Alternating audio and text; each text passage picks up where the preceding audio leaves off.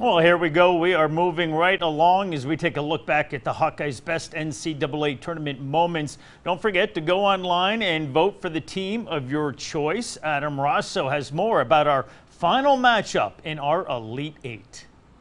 Just one matchup remains as we work our way through the Elite Eight of Iowa's best NCAA tournament moments. Today it's the number three seed from 1987 against the number six seed from 1956. One of these two moments will be our last entrant into the Final Four. Don't forget to vote for all your winners on HawkeyeHQ.com.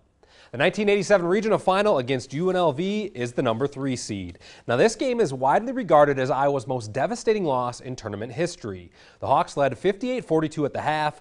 The Final Four in New Orleans was just 20 minutes away. But the running Rebels turned up the defensive pressure, and Iowa didn't handle it well. They didn't really handle it much at all. The Rebels held the Hawks to just 23 points in the second half. They actually built an eight point lead before Iowa rallied, but the late spurt was not enough. The 84 81 loss marks the last time the program advanced to the Elite Eight.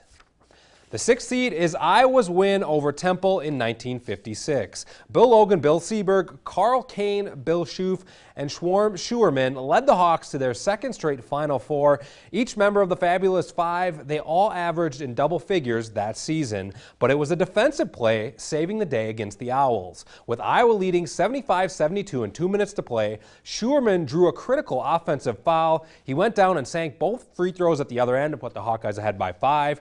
They'd go on to win by seven to advance to the national championship game. All right, the 1987 Elite Eight loss to UNLV or the 1956 national semifinal win over Temple. One of these moments will complete our Final Four. We're going to keep the polls open for about four days on HawkeyeHQ.com.